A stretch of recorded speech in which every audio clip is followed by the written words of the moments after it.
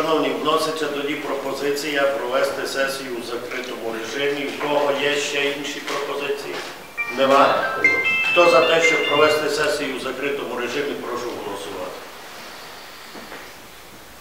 Проти? Утримались? Приймається.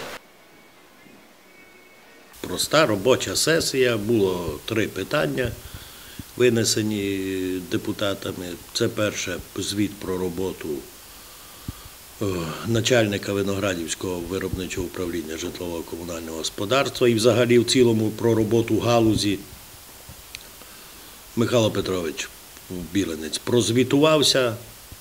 Депутати е, висловили свої, і я особисто, ті побажання і ті напрямки, які е, над чим бачимо попрацювати. Друге питання було звіт про роботу секретаря міської ради. І третє питання розглядалося, було внесено депутатами пропозиція про заповнення е, вакантної посади заступника міського голови.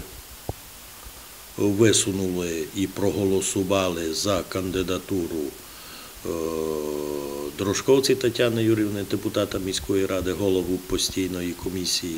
У депутатів було ряд зауважень, ряд пропозицій, об'єктивних, суб'єктивних, але е, всі вони, сподіваюся, будуть, будуть враховані, ну, принаймні вони всі занотовані.